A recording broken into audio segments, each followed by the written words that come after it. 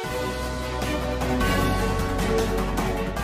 சேலம் மாவட்டம் எடப்பாடி வட்டாரங்களில் உள்ள கோவில்களில் ஒரு கால பூஜை செய்து வரும் பூசாரிகளுக்கு நிவாரணத் தொகை மற்றும் நிவாரண தொகுப்பு வழங்கப்பட்டது. தமிழகம் முழுவதும் ஊரடங்கு நடைமுறையில் உள்ளதால் ஏழை எளிய மக்கள் வாழ்வாதாரத்தை இழந்து தவித்து வருகின்றனர். அவர்களுக்கு தமிழக அரசு பல்வேறு நலத்திட்ட உதவிகளை வழங்கி வருகிறது.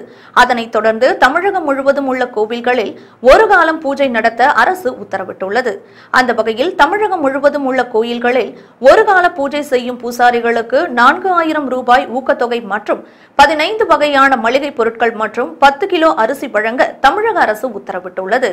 இதனைத் தொடர்ந்து சேலம் மாவட்டம் எடப்பாடி வட்டாரத்தில் உள்ள முப்பத்தேழு கோவில் பூசாரிகளுக்கு தமிழக அரசு சார்பில் நிவாரண தொகையாக நான்கு ஆயிரம் ரூபாய் மற்றும் மளிகை பொருட்கள் அரிசி உள்ளிட்டவைகள் வழங்கப்பட்டது. இதில் திருக்கோவில் ஆய்வாளர் ஜோதிலட்சுமி நிவாரண தொகுப்பினை வழங்கினார்.